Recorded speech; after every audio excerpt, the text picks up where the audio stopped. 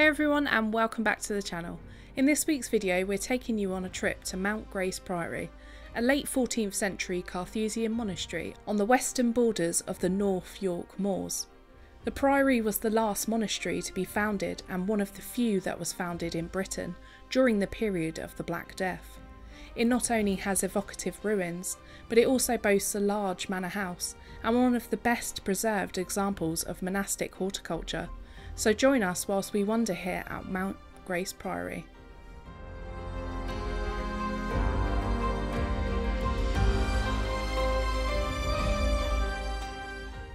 You may ask what a Carthusian is.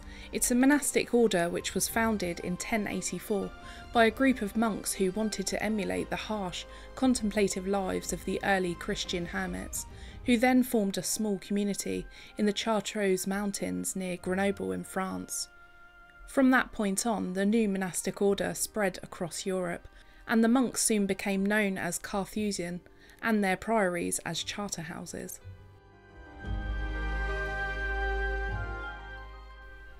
The priory itself is unusual in several respects.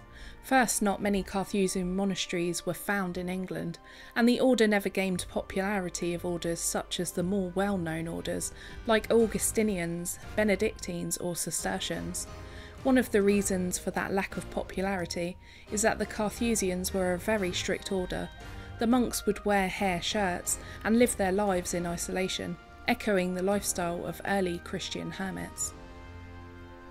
Unlike other orders which ate, drank, slept, and worked together, the Carthusians had private cells and lived in silence, devoting their whole existence to solitary contemplation and working in their garden plots. They did gather for worship, though, in the Priory Church three times a day, and ate silent meals as a group on Sundays and holy days, but much of their existence was solitary and silent, living their lives again as hermits. People might find this idea odd to be like that, but in reality, the monastic way of life in the Carthusian order could be very convenient for some people's lives, even in this day and age. The Carthusians played an important part in the events that led up to Henry VIII's dissolution of the monasteries in the 1530s.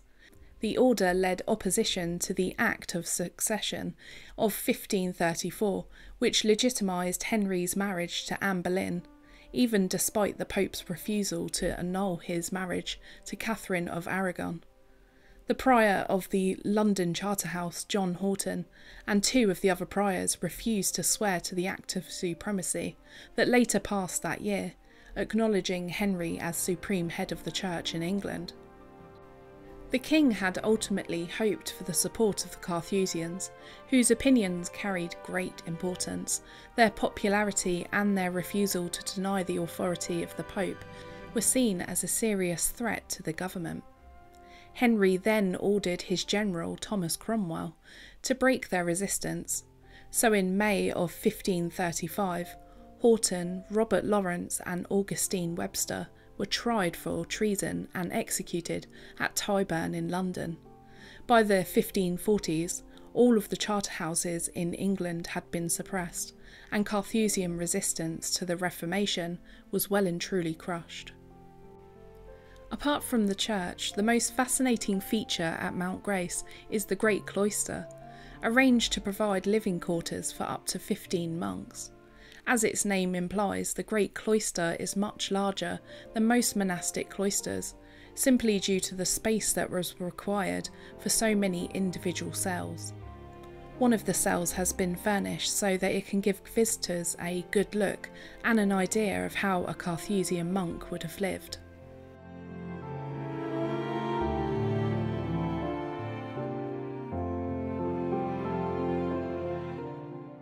The word cell conjures up an image of a dingy space with bars on the windows, but this was far from the case at the Priory.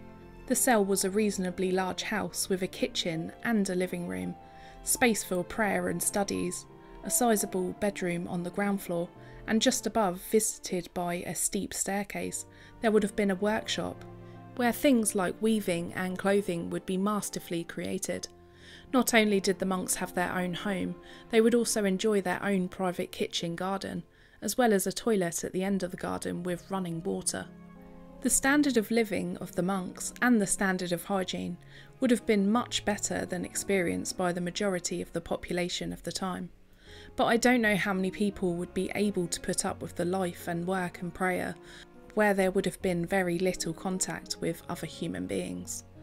Each cell would have its own water supply, fed by a spring on the nearby hillside, channeled to a now vanished water tower, then through a system of lead pipes to each cell. These cells were originally built of timber, but were rebuilt in stone around 1420. You can easily trace the system of stone lined drain channels which link the individual cells to the main drain system. The water supply and drainage system is quite remarkable, for it was built at a time when even the largest and most expensive homes of the nobility had underdeveloped water supplies and long before most large cities had adequate water and sewage systems.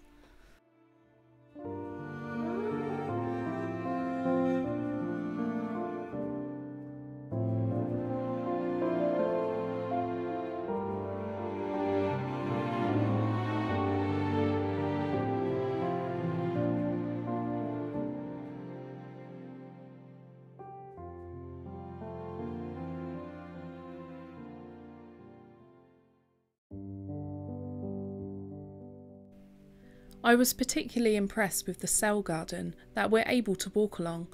The cell gardens at the Priory provided monks with the opportunity for some manual labour within the confines of their own cell, which was a key part of the Carthusian ideal.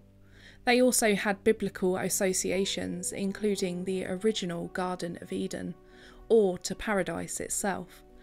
These spaces were not only just for food production, but it had multiple functions of spirituality, health, and utility. The massive food for the monks came from much larger kitchen gardens, plots, and farms elsewhere. What I thought was interesting is that the layout of the gardens would be sectioned off, in which the monks would keep the more poisonous plants in one section and the other more decorative plants in another. This could include a mix of medicinal and aromatic herbs and flowering plants to lift the mind and spirit to aid contemplation. The varieties of plants used were not only for eating or for medicinal purposes, but also a drink was made from the plant wormwood, still used to this day by the order of the Chartreuse Priory in a drink called green Chartreuse, Two monks made this concoction made from a secret recipe that has the taste of absinthe, but much more sweeter.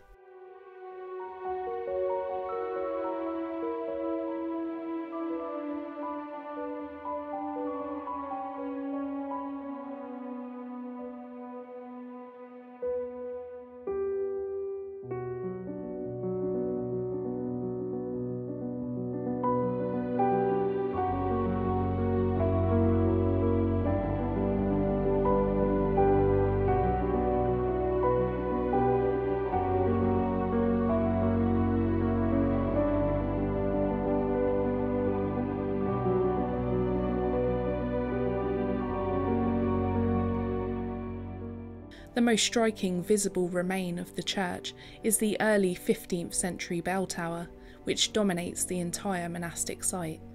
As we enter inside the Priory Church, it was originally a very simple rectangular building, but around the 1420s it was enlarged to act as a suitable burial place for Thomas Beaufort, the Duke of Exeter. The base of Beaufort's tomb can still be seen, near the remains of the monk's stalls. Chapels were added to the north and south of the nave in the late 15th century to provide a burial place for patrons of the priory. In the early 16th century, a third chapel was added to the south of the choir,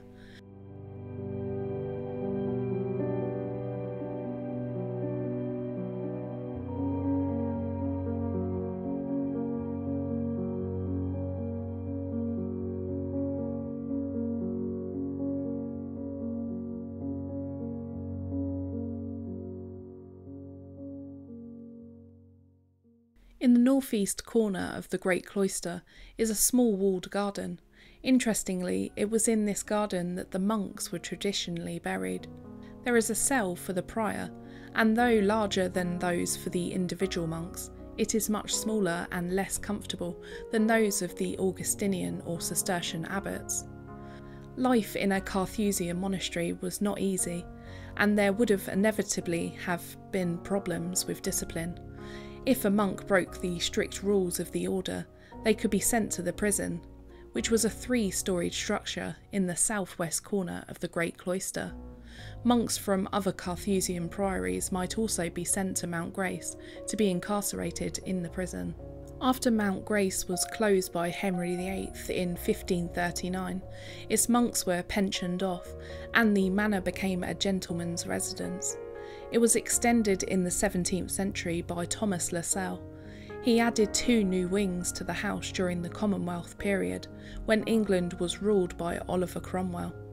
By the 1800s, though, the property had fallen into disrepair and faced a bleak future. It was then bought by Sir Isaac Lothian Bell, who had made his fortune in the steel industry. There are beautiful graduated gardens to the front of the house, with stunning floral borders and water features that we can enjoy. His purchase proved to be a turning point for the manor house. Not only was he an advocate for the arts and crafts movement, he was also a leading light in the Society for the Protection of Ancient Buildings. He preserved both monastic and Commonwealth features, whilst adding his own arts and crafts twist, including square black leaded windows, which are still visible today. Sir Lothian Bell employed leading designers and spent three years on the makeover and restoration. Even today, the site is very secluded. It's miles away from anywhere and surrounded by woodland. The traffic on the A19 rushes past, mainly oblivious to the fact that the priory is here. But what a hidden gem this priory really is.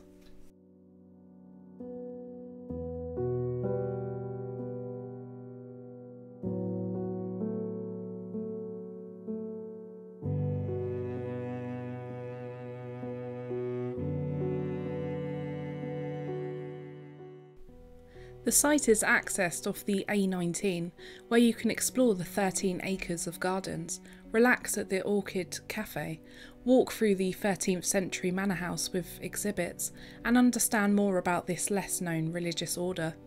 Mount Grace Priory is maintained by the English Heritage, but National Trust and English Heritage members can both access the site for free with their memberships. The site is partly accessible for wheelchair users, and all facilities are kept and maintained in great condition for your visit. So that's it for this week. We hope that you've really enjoyed our visit today at Mount Grace Priory, hopefully giving you some inspiration to visit here and the surrounding area. Please be sure to like, subscribe, and leave us a comment below. We would also like to thank our Patreons and our channel members for their continued support and all of the links to support us are in the description box below if you would like to help us continue to grow. So we'll see you in the next one. Till next time.